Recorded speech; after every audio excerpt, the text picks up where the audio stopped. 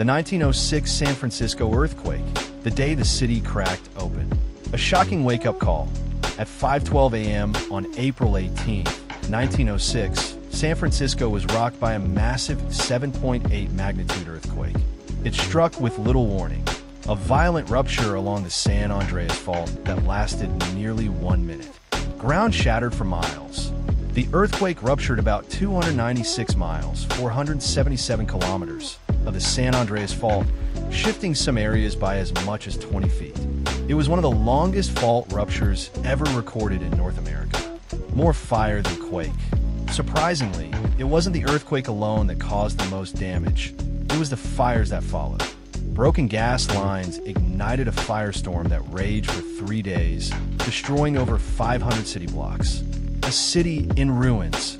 More than 80% of San Francisco was destroyed.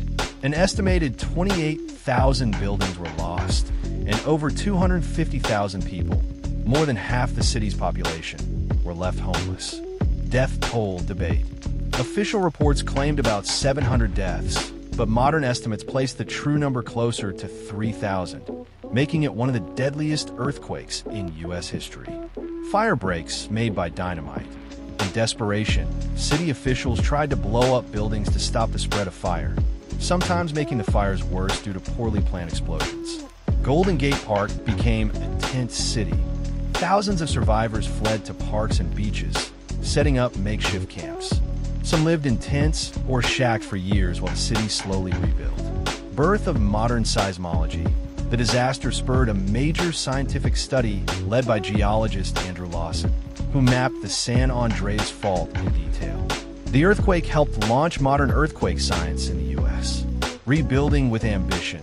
Despite the devastation, San Francisco was rebuilt rapidly with new building codes, earthquake resistant designs, and a renewed sense of civic pride. It hosted the Panama Pacific Exposition just nine years later to showcase its recovery. A constant reminder the 1906 quake remains a powerful warning that the San Andreas Fault is still active. Experts warn that a similar quake could strike again, and millions now live in its path.